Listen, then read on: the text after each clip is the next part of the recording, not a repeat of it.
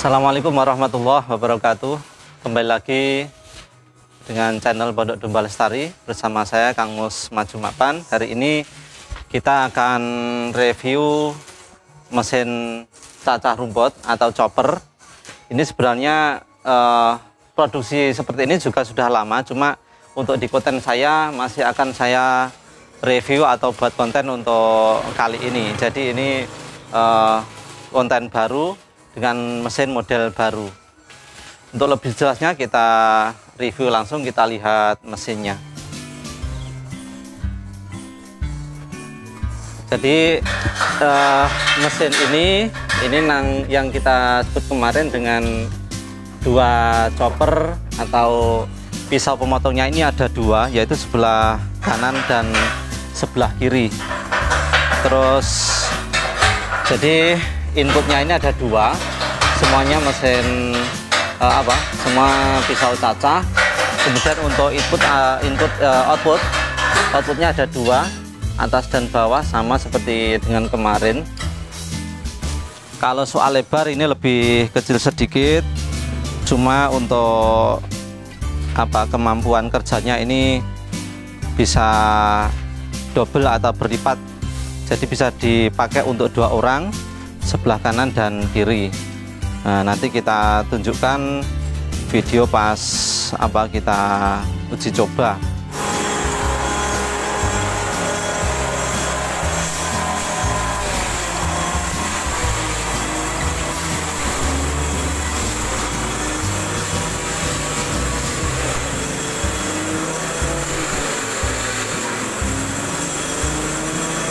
kemudian untuk mesin eh, kalau mesin sama saja nanti bisa sesuai selera bisa pakai yang diesel ataupun yang bensin. Kemudian untuk uh, ini ini kita atur ya untuk kencang dan tidaknya bisa kita atur. Jadi seperti ini. Nah untuk mempermudah itu ini kan masih kita setel apa istilahnya masih kendor nanti setelah kita selah ini baru kita bisa kita uh, kencangin seperti ini. Nah ini kalau nanti lebih mudah. Ini ada setelannya ini. Nah, untuk maju mundurnya mesin jadi di setel akhir. Nah ini sudah kencang.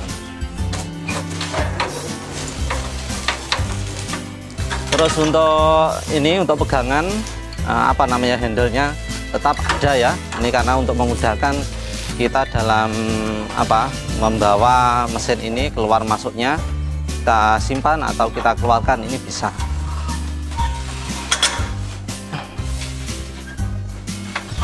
Terus kita lihat dalamannya.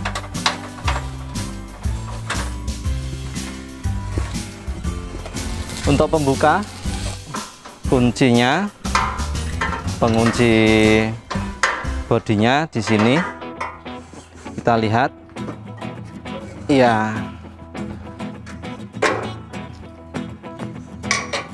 Jadi ini ya eh, piringannya atau cacahnya ini ada dua. Kanan kiri ada cacahnya semua. Nah, jadi makanya bisa digunakan untuk dua orang kerja sekaligus. Dua orang kerja sekaligus sama dengan model sebelumnya. Ini pisau choppernya ini ada dalam satu set ada tiga. Kemudian dalamannya juga hammernya pakai hammer pisau ini ya. Jadi lebih tajam. Jadi pakai yang pisau ini. Sama satu setnya tiap apa ini? Tiap setnya ada empat biji. Terus keseluruhannya ada tiga tiga set. Jadi jumlah keseluruhannya hammer pisaunya ada 12 itu ya. Terus untuk sarangan sama saja dengan kemarin ketika kita pakai output atas ini kita pakai penutup. Ini penutupnya. Jadi bongkar pasangnya juga mudah.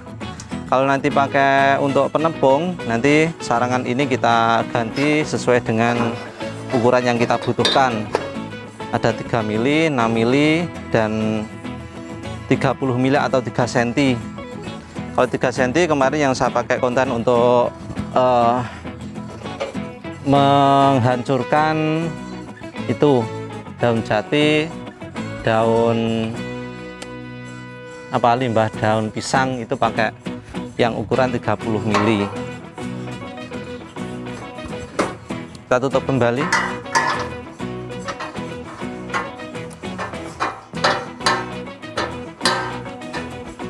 jadi e, nanti bisa juga kita pakai ini ya. E, inputnya tambah satu juga bisa untuk yang minum untuk penempung. Jadi nanti inputnya ada tiga satu dua tiga. Cuma sementara ini ada dua. Cacah semuanya. Untuk sementara itu sudah yang bawah pakai roda ini. Ini lebih mudah sementara itu yang dapat saya sampaikan bagi yang berminat ini jujur saja kalau menghendaki harus sabar menanti karena kita dalam produksi Pak Mif ini uh, tetap menjaga kualitas jadi nggak bisa asal-asalan cepat jadi biar untuk banyak tidak. Itu terus semuanya nanti ada penutupnya kanan kiri ada penutupnya semuanya. Ketika kita, kita, kita pakai nanti uh, dikasih tutup. Itu.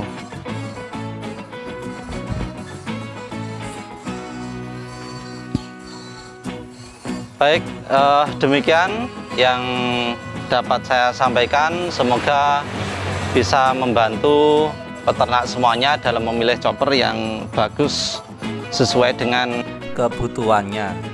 Saya akhiri, Assalamualaikum warahmatullahi wabarakatuh.